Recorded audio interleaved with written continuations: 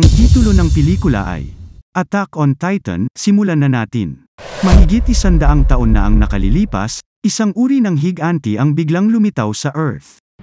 Tinawag sila ng mga tao na Titans. Ang ilang mga Titan ay may mga espesyal na katangian at kakayahan habang ang ilan ay gutom lamang sa laman ng tao. Kinain ng mga Titan ang karamihan sa sangkatauhan at sinira ang sibilisasyon.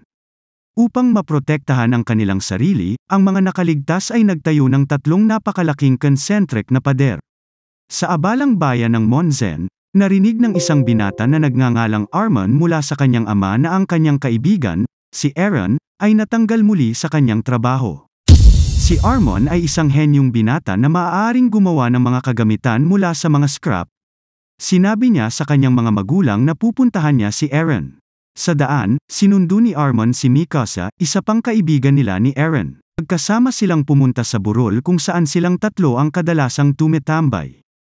Doon, nakita nila si Aaron, nakatayo sa isang dud bomb. Tinanong ni na Armon at Mikasa si Aaron tungkol sa kanyang huling trabaho. Pero imbes na sumagot, tinanong sila ni Aaron kung kontento na ba sila sa buhay nila sa loob ng pader. Dahil hindi siya, Sinipa ni Aaron ang bomba, ikinukumpara ang kanyang sarili dito habang nakadikit ito sa lupa, tulad ng pagkakastak niya sa loob ng dingding. Habang nahuhulog ang dumi sa bomba, napansin ni Mikasa at Arman ang pagguhit sa bomba. Nagulat silang tatlo na mayroong mga karagatan sa labas ng pader. Nang makakita ng ibong lumilipad sa kalangitan, iniisip ni Mikasa kung nakita na ba ng ibon ang karagatan. Nagtatanong kung gusto niyang makita ang karagatan, Pinangunahan ni Aaron sina Mikasa at Armon na palihim na lampasan ang mga gwardya na nagbabantay sa dingding. Namangha si Mikasa, sinabing hindi pa siya naging ganito kalapit sa pader. Biglang tumikim si Mikasa dahil nilalamig siya. Binigay ni Aaron sa kanya ang kanyang scarf. Magpapatuloy na sana siya nang pigilan siya ni Mikasa at Armon sinabi ni Mikasa na ayaw niyang pumunta ngayon, habang si Armon ay natatakot sa mga titans sa labas ng pader. Ngunit si Aaron ay hindi naniniwala sa mga Titans, na sinasabi na walang sino man ang nakakita nito sa loob ng higit sa isang siglo. Sa halip, iniisip niya na ang kabilang panig ng pader ay isang paraiso. Sa kasamaang palad, nakita sila ng mga sundalo at sinubukan silang hulihin. Sinusubukang lumaban ni Aaron ngunit pinigilan sila ni Kapitan Sauda. Inutusan ang kanyang mga tauhan na umalis, sinabi ni Kapitan Sauda sa tatlong kaibigan na sinubukan din niyang tumakas noong siya ay bata pa. Pero nahuli din siya. Pagkatapos ay ibinunyag niya na ang ibang mga tao ay nagsisimula na ring makaramdam ng kawalang kasiyahan sa pamamagitan lamang ng pamumuhay sa loob ng dingding. Kaya naman sila ay bumubuo ng scout regiment. Sa wakas ay magsisimula na silang mag-scout sa labas ng pader, Nangako si Kapitan Sauda na kapag nakahanap na sila ng bagong lupain, maaari na silang mabuhay ng malaya. Biglang gumuho ang lupa. Napansin ni Aaron na umuuga ang pader at lumalabas ang puwersa. Sa kanilang pagtataka, lumitaw ang isang Colossal Titan. Ang Colossal Titan ay isang uri ng Titan na mas matangkad kaysa sa mga dingding at may napakainit na singaw na lumalabas sa katawan nito. Paulit-ulit nitong sinisipa ang pader hanggang sa tuluyang gumawa ng butas. Agad na nagtago sina Aaron, Arman, at Mikasa, habang inihahanda ni Kapitan Sauda ang garrison para labanan ang mga Titans. Matapos mawala ang Colossal Titan, ang mga Titan na may iba't ibang laki ay nagsimulang pumasok sa loob ng pagkaraan ng isandaang taon, ang pader na nagpoprotekta sa sangkatauhan ay nasira. Ang garrison ay nagpaputok ng mga kanan sa kanila, ngunit hindi ito nakakaapekto sa mga Titans. Sa kasamaang palad para sa mga sundalo, ang mga Titans ay may mabilis na mga kakayahan sa pagbabagong buhay. Nanlamig ang mga sundalo sa takot habang isa-isa silang kinakain ng mga Titan. Agad na tumakbo pabalik ng bayan sina Aaron, Mikasa, at Arman si Armon ay pumunta upang tingnan ang kanyang mga magulang habang sina Aaron at Mikasa ay naghahanap ng isang lugar na mapagtataguan. Ang mga Titans ay nakarating din sa bayan at nagsimulang gumawa ng kalituhan at kumakain ng mga tao. Nakita ni Aaron na nakuha ng isa sa mga Titan ang ama ni Armon pagkaraan ng ilang sandali. Nakita ni Aaron ang isang bahay kung saan sila maaaring magtago. Gayunpaman, napakaraming tao ang nagsisikap na makapasok sa loob ng bahay. Pagkatapos ay napansin ni Mikasa ang isang babaeng may sanggol na halos masagasaan ng mga taong nagpapanik, lumapit si Eren sa babae at tinulungan itong bumangon, ngunit hindi nila sinasadyang naiwan ang kanyang sanggol sa nagmamadaling nilapitan ni Mikasa ang sanggol at pinoprotektahan ito. Tinulak ng alon ng mga tao si Eren sa loob ng bahay, na humiwalay sa kanya kay Mikasa, sa loob, napansin ni Eren na may mga puwang pa para sa ilang mga tao na masisilungan. Ngunit ang iba ay ayaw nang buksan ang pinto. Pinilit ni Eren na pumunta sa pinto at sinubukang buksan ito. Pinipigilan siya ng iba. Walang magawa si Eren habang tinitigan ng nakangiting Titan si Mikasa at ang sanggol. Isang shockwave ang dahilan ng pagbagsak ni Eren. Pagkatapos, agad siyang lumabas ngunit walang nakitang tao. Buti na lang at nakalabas siya sa tamang oras bago nilamon ng mga Titan ang mga tao sa loob ng bahay. Nagbago ang eksena dalawang taon pagkatapos ng insidente ng paglabag.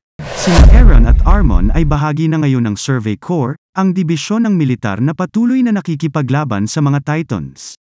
Ipinaliwanag ni Commander Kubol, ang direktor ng puwersang militar ang resulta ng pag-atake na nangyari dalawang taon na ang nakakaraan. Ang mga nakaligtas sa panlabas na pader ay napipilitang iwanan ang agrikultural na zona at pumunta sa gitnang pader, ang komersyal na zona, para kanlungan, dahil sa pagkawala ng mga lupang sakahan, kasama ang kawan ng mga refugee, nagiging problema ang kakulangan sa pagkain. Ayon kay Commander Kubol, para mabawi ang mga bukirin, kailangan nilang ibalik ang nasirang pader. At ang Survey Corps ay sinanay para sa partikular na misyon na ito. Pagkatapos ay tinawag niya ang pinuno ng pangkat ng sandata, si Hans. Pagtungtong sa entablado, ipinakita ni Hans sa squad ang Omnidirectional Mobility Gear, na kilala rin bilang ODM Gear. Sa Omet Maki Transit Point, sasali sila sa recon team na pinamumunuan ni Captain Shakishima. At sa gamit ng ODM, tiwala si Hans na nasa kanilang mga kamay ang tagumpay. Bago tapusin ang kanilang briefing, pinaalalahanan ni Commander Kubel ang Survey Corps na dapat nilang italaga ang kanilang mga puso sa misyon. Habang lumulubog ang araw, pinapanood ni Aaron ang miyembro ng Survey Corps na nagpaalam sa kanilang mga pamilya.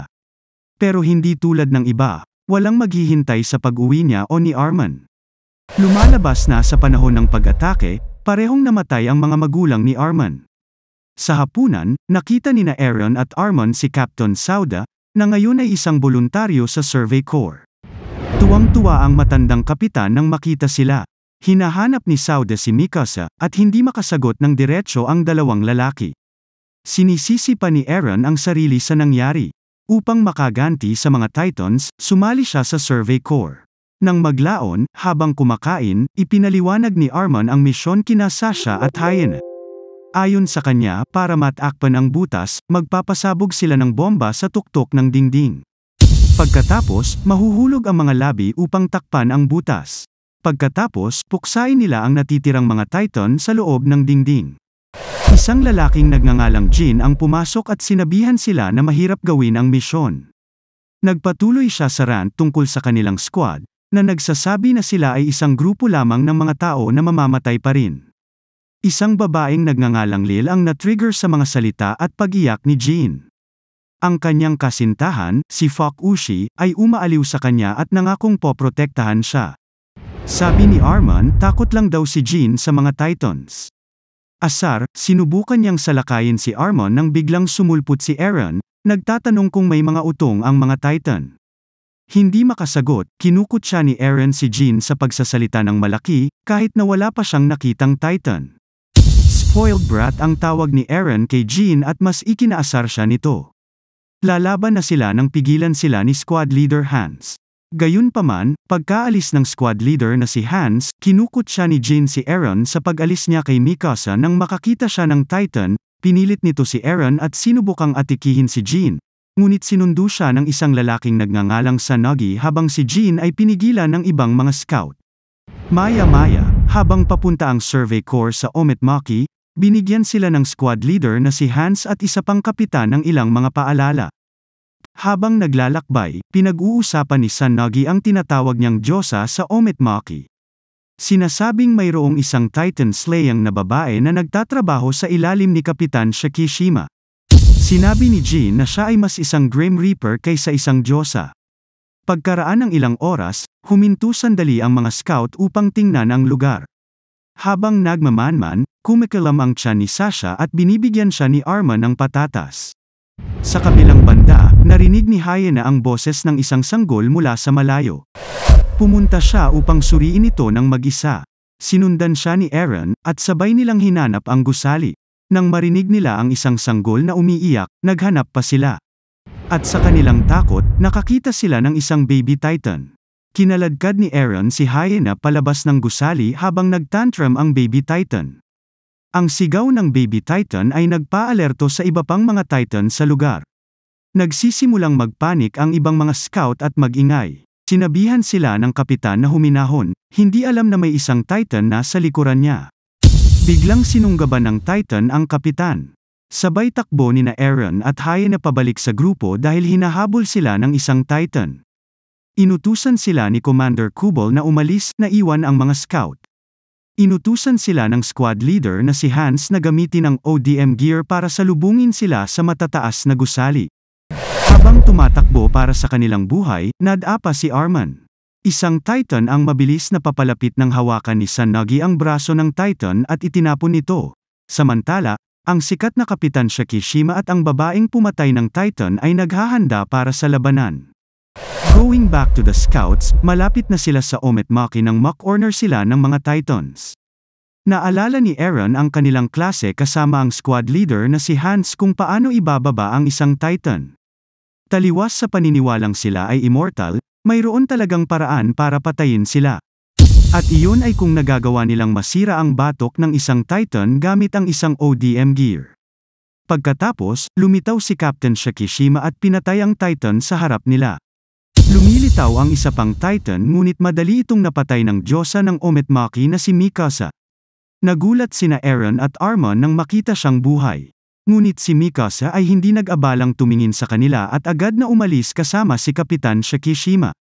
Ang eksena ay nagbago sa mga scout na nanirahan sa isang gusali kung saan nila ginagamot ang mga sugatan at inaalagaan ang mga nahulog na sundalo. Sa kabilang bahagi ng gusali, pinuri ni Commander Kubol si Kapitan Shakishima sa pagbabantay ng mabuti sa mga pampasabog. Ngunit sinabi ni Kapitan Shakishima na hindi nakita ang mga pampasabog. Pagkatapos ay ibinunyag ng commander sa kanya at sa pinuno ng squad na si Hans na ang mga pampasabog ay nakatago sa lihim na bunker dahil sa alingaw-ngaw ng insurhensya. Pagkatapos, ang scout ay nagsimulang magkarga ng mga pampasabog sa mga truck. Samantala, muling nag-aaway sina Aaron at Jean. Sinisisi ni Jean si Aaron sa paggulo sa kanilang misyon. Sa pagkakataong ito, nag-aaway ang dalawang lalaki na walang makakapigil sa kanila. Tinapos ni Aaron ang kanilang laban sa pamamagitan ng pagpapaluhod kay Jean sa kanyang mukha pagkatapos niyang mahuli ang sipa ni Aaron. Ngunit agad siyang pinabagsak ni Mikasa. Tinanong ni Armon kung ano ang nangyari sa kanya, ngunit hindi sumagot si Mikasa. Pagkatapos ay dumating si Captain Shakishima at pinuri ang sipa ni Aaron. Sa pagtatanong sa pangalan ni Aaron, alam ni Kapitan Shakishima na siya ay mula sa Monzen. Inutusan niya si Aaron na sundan siya at nag-usap sila sa isang lugar na pribado. Pinag-uusapan ng dalawa ang mga magulang ni Aaron at si Mikasa. Ibinahagi ni Aaron na namatay ang kanyang mga magulang noong bata pa siya. Nang magtanong si Aaron tungkol kay Mikasa, sinabi sa kanya ni Captain Shakishima na tinuruan niya si Mikasa kung paano maging isang Titan killing machine. Sabik din si Aaron na matutunan kung paano pumatay ng mga Titans. Tinanong ni Kapitan Shakishima kung ano ang motibasyon ni Aaron. Samantala, ipinakita ni Arman kay Sasha ang device na ginawa niya. Nang ihulog ni Sasha ang kanyang patatas, doon nila napansin na nasa harapan na nila si Kubo. Habang ibinibigay nila ang kanilang paggalang sa kanilang chief in command, tinanong ni Commander Kubol kung ano ang natutunan ni Arman sa paaralan tungkol sa kung ano ang humantong sa mga pagsulong ng teknolohiya. Sinagot ni Arman na ito ay nagdudulot ng higit na pinsala kaysa sa kabutihan sa sangkatauhan at sa kapaligiran. Nasiyahan sa sagot ni Arman, umalis si Commander Kubol, tinatapakan ang patatas ni Sasha sa kanyang paglabas. Sa kabilang bahagi ng gusali, ginagamot ni Sauda ang sirang panga ni Jean. Tinanong ni Sanagi kung bakit galit si Jean kay Aaron. Sabi ni Jean na naiinis siya sa mukha ni Aaron dahil parati niyang pasan mag-isa ang pasan ng mundo. Sinabi ni Sanagi kay Jean na nawala ng kasintahan si Aaron, na pinagtawanan ni Jean noong huling pagkakataon. Nang ihayag ni Sauda na si Mikasa ang natalo ni Aaron, nanlaki ang mga mata ng dalawang lalaki. Speaking of which, nilapitan ni Aaron si Mikasa habang tumutugtog siya ng piano. Sinabi ni Aaron kay Mikasa na natutuwa siyang makita siya. Naaalala ni Mikasa ang araw ng pag-atake dalawang taon na ang nakakaraan. Siya at ang sanggol ay kinain sa araw na yon. Itinaas ni Mikasa ang kanyang shirt at ipinakita kay Aaron ang isang malaking marka ng kagat sa gilid ng kanyang katawan. Natakot si Aaron nang makita ang marka sa katawan ni Mikasa. Sa pagsasabing malupit ang mundo, ipinangako ni Mikasa na papatayin ang lahat ng mga Titans. Lalapit na sana sa kanya si Aaron nang tumama sa ulo niya ang isang mansanas. Pinulot ang mansanas, naroon pala si Captain Shakishima. Pagkatapos ay binigay niya kay Mikasa ang mansanas na kinakain niya. Nakaramdam ng selos si Aaron at umalis. Sa labas, sumisigaw si Aaron nang mapahinto siya ni Hyena. Ipapaalala sa kanya na maaari niyang tawagin muli ang mga Titans tinikom ni Aaron ang kanyang bibig. Kinaladkad siya ni Hyena pabalik sa building. Sa loob, tinanong niya si Aaron kung ano ang nangyari sa kanya at kay Mikasa. Ngunit sinabi ni Aaron na hindi na ito mahalaga. Sa malapit, nakita nila si Lil at Fuck Ushi na nagkukulitan. Biglang naalala ni Aaron na may maliit na anak si Hyena. Inihayag ni Hyena na nagboluntaryo siyang maging bahagi ng Survey Corps para magkaroon siya ng sustento para sa kanyang anak na babae. Nagsimula siyang maghubad at inilagay ang kamay ni Aaron sa kanyang dibdib. Nagulat si Aaron nang magsimulang sumandal si Hyena para halikan. Si Hyena, na lumalabas na may crush kay Aaron, ay humiling sa kanya na maging ama ng kanyang anak na babae. Sa kasamaang palad, hindi man lang nila natama ng unang base ng hawakan ng Titan si Hyena sa kanyang paa. Pinagmamasdan ni Aaron habang nilalamon ng Titan si Hyena ng buo. Ang mga scouts pala ay napapalibutan na ng mga Titans. Agad nilang sinuot ang kanilang gamit sa ODM habang tumatakbo palayo. Sina Mikasa at Captain Shakishima ay mabilis na nakipagdigma. Sa lupa, gumagamit si Sanagi ng palakol para putulin ang takong ng mga Titans. Ang iba ay sinusubukan ding lumaban ngunit ang mga Titans ay madaling pumatay at kumain ng mga ito. Si Commander Kubol naman ay inuuna ang kanyang paglikas at proteksyon sa mga pampasabog. Pagbalik sa larangan ng digmaan, nakiusap si Lil kay Sauda na gamutin ang kanyang kasintahan, ngunit patay na ito naghahanda na rin sina Arman at Sasha para makipaglaban. Samantala, napansin ni squad leader Hans na may nagnanakaw sa truck na puno ng mga pampasabog. Ito ay isang tao mula sa insurhensya na si Lil ay mabilis na napasunog sa likod ng truck at nakipaglaban sa rebelde. Sinipa ang rebelde mula sa upuan ng driver na bangga ni Lil ang truck sa isang Titan. Sa kasamaang palad, ito ang huling batch ng mga pampasabog na mayroon sila. Hindi rin nagawang pumatay ni Lil kahit isang Titan. Pinapanood ni Aaron habang kinakain ng mga Titan ang iba pang scouts. Narinig niya si Jean sa likod niya. Nang makita kung paano sila madaling mapupuksa ng mga Titan, kinumbinsi ni Jean si Aaron na tumakas. Sa pag-alala sa mga salita ni Captain Shakishima, lumipad si Aaron gamit ang ODM gear, hindi gustong maging duwag tulad ni Jean. Hinihikayat siya ni Kapitan Shakishima na lumipad ng diretsyo sa mga Titans. Sa patnubay ng kapitan, nagawa ni Aarons na pumatay ng isang titan. Ngunit sa kanyang pananibik, hindi niya napansin na lumilipad na pala siya sa bunganga ng isa pang titan. Hinawakan nito ang binti ni Aaron at itinaboy siya palayo. Umalis lang si Captain Shakishima matapos makitang nabigo si Aaron. Going back to Jean, na corner siya ngayon sa rooftop. Nakita siya ni Sanagi at inalerto ang iba sa sitwasyon ni Jean. Sa kabutihang palad, S.I. Armon ay may plano na magbibigay daan sa kanila na iligtas siya. Nakakaabala sila at nakuha ang atensyon ng pinakamalaking Titan. Pagkatapos, pinuna ni Sasha ang mga mata nito gamit ang mga arrow. Sa wakas, pinutol ni Sanagi ang sakong ng Titan. Nang makakita ng bintana ng pagkakataon, lumipad si Jean patungo sa Titan at tinapos ito. Tinanong ni Arman kung nasaan si Aaron. Ay nang sabihin ni Jean na patay na siya, natigilan si Arman, hindi napansin ang Titan sa malapit. Nakakatakot ang panunood ng grupo habang sinunggaban ng Titan si Arman. Nakita rin ni Mikasa si Aaron na gumigapang sa isang rooftop na hindi kalayuan kina Arman Sasha, Sanagi, at Jin na sinusubukang tulungan si Arman, ngunit ang Titan na nakakuha sa kanya ay may makapal na balat. Gamit ang kanyang natitirang lakas, iniligtas ni Aaron si Arman. Sa kasamaang palad, si Aaron ang napalunok ng Titan.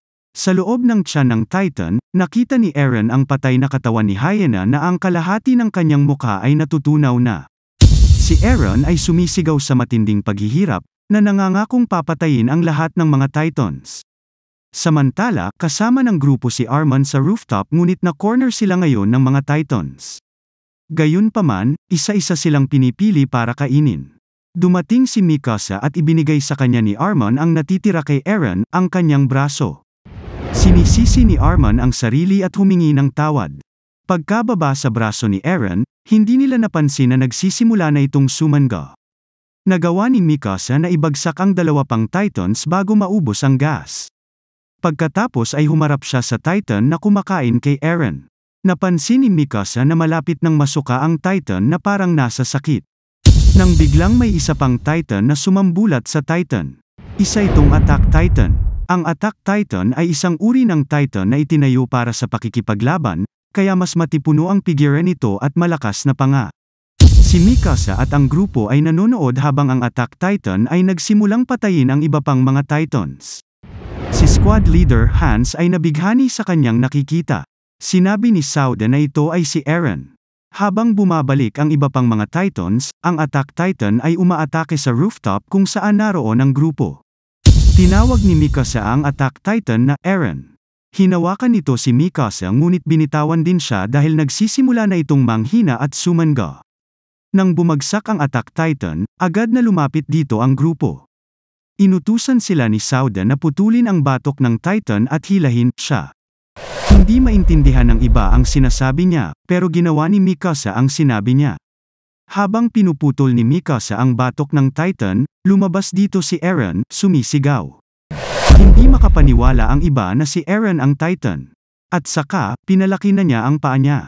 Samantala, si Kapitan Shikishima ay nakamasid lamang mula sa malayo, Tila higit na alam ang katotohanan ng sitwasyon ni Aaron. Natapos ang pelikula sa pagbukas ni Aaron ng kanyang mapupulang kumikinang na mga mata.